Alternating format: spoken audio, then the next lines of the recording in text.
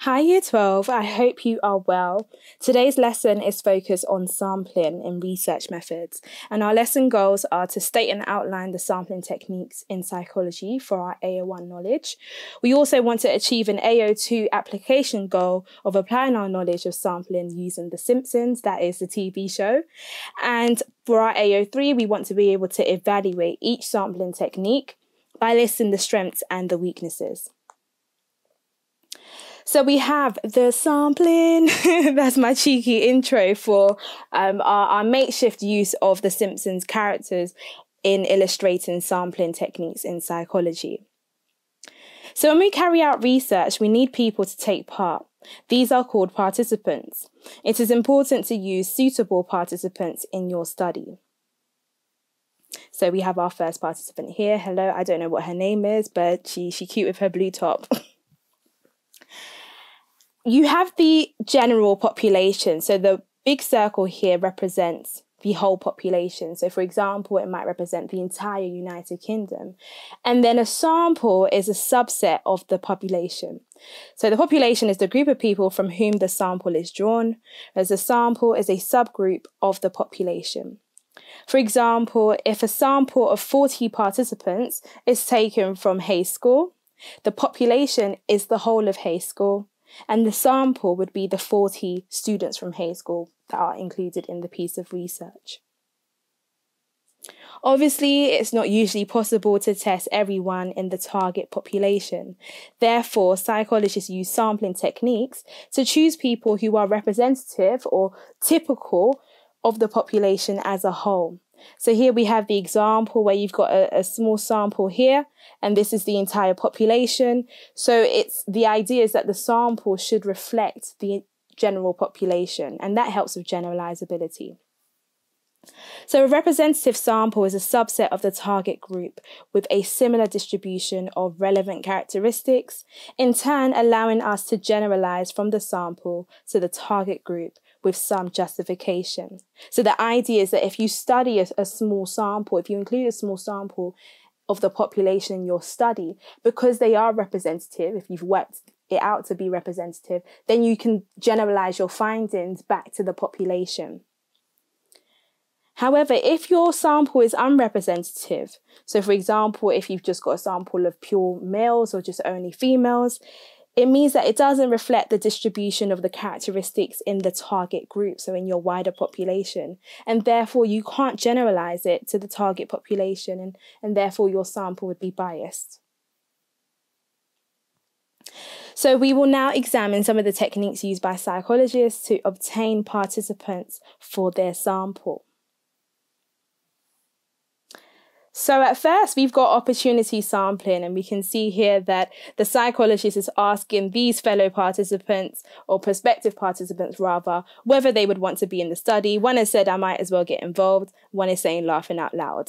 Opportunity sampling is a sampling technique most used by psychology students and also by psychologists. It consists of taking the sample from people who are available at the time the study is carried out and fit the criteria you are looking for. And then for random sampling. So this is a sampling technique which is defined as a sample in which every member of the population has an equal chance of being chosen. This involves identifying everyone in the target population and then selecting the number of participants you need in a way that gives everyone in the population an equal chance of being picked. So what you do is you put the entire population into a hat and then you pull them out of the hat at random, and your random selection will then form your sample for the study. When it comes to random sampling, there are a number of techniques which psychologists and students can use. And it's really important that you know this because this is an area which I've noticed that students fumble on. So if you're asked how would you conduct a random sample, you wouldn't just give a blasé answer of, oh, I'd put all I'd put the names in a hat and um, and that's it you need to follow up and you need to give us some detail. There's some answers that I've seen which are very, very, very basic, like, oh yeah, I'd randomly select. But what are you randomly selecting from? So here are a few methods that you can use in describing random sampling. And at this point, I would like you to open up to page 193 in your textbook and have a read of the portion which is literally titled Random Sampling Techniques. They are techniques that you would be familiar with. The number one um, technique that you'll be familiar with is literally the names into a hat and pulling them out at random, um, similar to a raffle me- method. So remember, if you've ever played in a raffle, if you've ever participated in a raffle, you've been given a number and sometimes that can be done with a wider population where every person in the population is given a number and then a random number generator generates a number and whoever um, has the number that the, the random number generator has generated, they become part of your sample if they agree to participate in your study. So have a look at page 193 and add to your notes for that. Um, I'm not going to read through this slide because it's very self-explanatory and I've already explained the lottery method. Then we have stratified sampling. Stratified sampling is really important. So you can see that we've got the entire population here. And the entire population is made up of 60% female and 40% male. In stratified sampling, it involves classifying the population into subgroups, strata. And in this case, our subgroups that we've identified are female and male, so gender. And then we choose a sample which consists of the participants from each strata in the same proportions as they occur in the population. So, for example, if we had a sample of 10 individuals for our study, but we want our 10 individuals to reflect the same gender proportions in the wider population, we would need to ensure that indeed the percentage of females in our small sample is 60% and the percentage of males in our small sample is 40% because that reflects what is going on in the wider population. And that is stratified sampling. Your strata can be anything. Your strata can be an age group. Your strata can be a profession. The idea is that the proportions must reflect that of the wider population. And then we have systematic sampling. Systematic sampling involves using a predetermined system to select participants from a population, such as selecting every nth person from a phone book, a mailing list, a register, and the numerical interval is applied consistently. So, for example, in this situation, I might say that I'm going to select every second individual in this row. And indeed, we applied that consistently. And this means that this individual, this individual, this individual, this individual, and this individual would be part of my study. And if the, the list was going on and on, I would continue selecting every second individual. Then we have volunteer sampling. Volunteer sampling consists of participants becoming part of a study because they volunteer when asked or in response to an advert or an invitation. This is also known as a self-selected sample.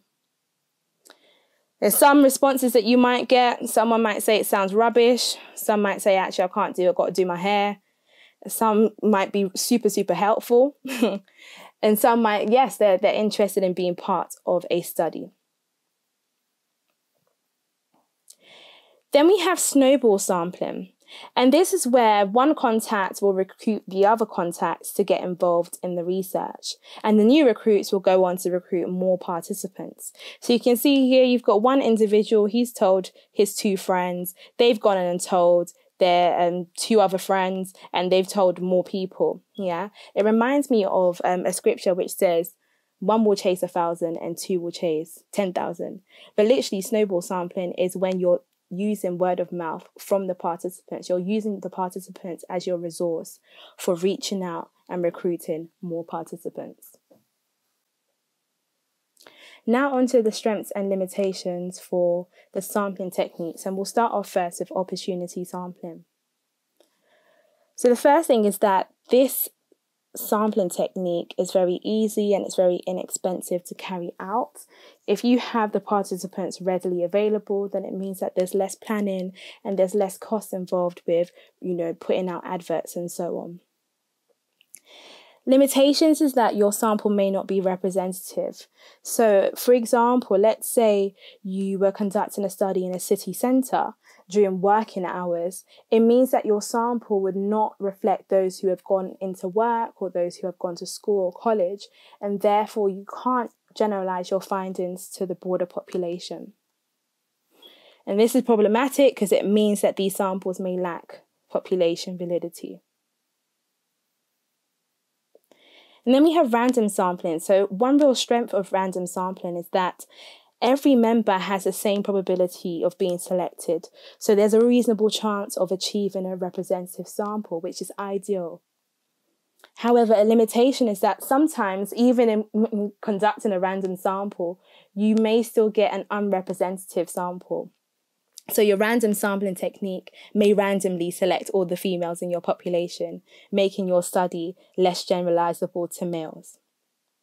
And also, it can be impractical, it may not be possible to completely random, um, use random sample because you would need to literally get all the members of your population and give them that equal opportunity of being selected. That's similar to literally trying to get the whole of the United Kingdom to be part of a study. You would need to have everyone's details and then you would need to randomly select from those details. And it may not be possible to get everyone's details in that manner. And then for stratified sampling, so one real strength is that it avoids the problems of misrepresentation which can be caused by random sampling. And remember that if you purely use a random sample, sometimes your random sample can randomly select all the females in a population, and that might be problematic for your study because it means that it won't be representative of males. Well, that problem is avoided when you use a stratified sample because you are randomly selecting from the appropriate proportions in the wider population. So if you decide to um, stratify your sample by gender, you'll make sure that the percentage of males and females in your sample are reflective of the wider population. This is positive because it means that your sample would be um, high in population validity and very representative of the wider population. But the limitations are is that it takes more time and resources to plan. It's problematic because the process is very lengthy in comparison to other sampling techniques and it may cause delay in research. And also, care must be taken to ensure that each characteristic present in the population is selected across strata. Otherwise, this will design a biased sample. And then for systematic sampling, so one real strength of systematic sampling is that the method is objective. That means that any subjectivity or any bias from the researcher is removed in the process. But we can only assume that it's objective if the list order has been randomized. So, for example, when it comes to registers, we know that um, registers are simply ordered by the um, by in alphabetical order. So therefore, we would consider that to be random. If it was, if registers were organized by ability, then that's not a, a random list. And it could be that even when you're selecting every third person down the list, that your population sample may be somewhat biased. A limitation of systematic sampling is that if the list has been assembled in any other way, then bias may be present. For example, if every fourth person in the list was male, you would have only males in your sample. So there, there can be some caveats to systematic sampling. And this is problematic because it means the sample is unrepresentative and it could potentially have a low population validity making it difficult to generalize findings from the sample to the target population. Then we have volunteer sampling. So, a strength of volunteer sampling is it often achieves very large sample size through reaching a wide audience, using online adverts, and so on. It's quick and it's convenient and it's economical, so it tends to cost very little money in terms of recruiting participants for your study. And it's positive because it means that there's less planning and less preparation required, so it leads to fewer delays in the research process. However, there's a real, real problem with volunteer sampling known as the volunteer bias. And volunteer bias is a form of sampling bias because volunteer participants have special characteristics, such as usually being more highly motivated um, than randomly selected participants. Those who respond to the call for volunteers may display similar characteristics, such as being more trusting or cooperative than those who did not apply. And it means that you may have an representative sample. So it might be that you've got a, a sample of super helpful and keen people, but it means that your study doesn't tell us anything about those who did not volunteer. And that's problematic in psychology because it means that your study will lack population validity. And then finally, we have snowball sampling. One real strength of snowball sampling is that you are able to identify and contact hard to reach or hidden populations. So let's say your study was on um, perhaps investigating the psychological effects of HIV positive individuals. It might be difficult to put up an advert and ask people to come along um, to take part in your study. But if perhaps you um, were able to find one participant and they knew other people who perhaps were HIV positive, that would be a way of recruiting. Another one would be in terms of recruiting those who might be um, engaged in illegal activities. Apologies for these examples, but these are real examples. Um, en- engage in uh, illegal activities, it's very likely that if you find one participant and use a snowball method, they're better able to reach out to those hidden or hard to reach um, other participants to partake in your study. It's quicker as referrals make it quick and easy to find participants, and the method is also very cost effective. But there's a limitation, so we got another sampling bias. Since people refer those whom they know and have similar traits to, this sampling method can have a potential sampling bias. This means that the sample obtained may not be representative of the broader population, and therefore this technique is low in population validity. Okay, so to wrap things up for this lesson, I want you to apply your knowledge to sampling um, the different sampling methods that we use in psychology. But what I want you to do is not to, to outline the strengths and weaknesses for each sampling method that you identify, just simply identify the method as a way of checking your understanding. And this is because we've already gone through the strengths and weaknesses in quite great detail. So, just looking at number one together, it says a researcher wishes to study memory in children aged between 5 and 11. He contacts the headmaster of his local primary school and arranges to test the children in the school. So, what type of sampling is this? Well, this is opportunity sampling. Yeah, his local primary school, it's likely that the participants or the head teacher would respond favorably and invite him in to conduct the study. So, have a go for at doing the rest of them and simply just identify the type of sampling used. So for your submission, all I'm looking to see is one to five and the correct sampling method that has been used in the scenario. So make sure that you complete good notes on this topic. Um, feel free to go back and, and pause where needs be, or you would have been pausing as you were watching the video to make your notes. I've also uploaded the PowerPoint as well.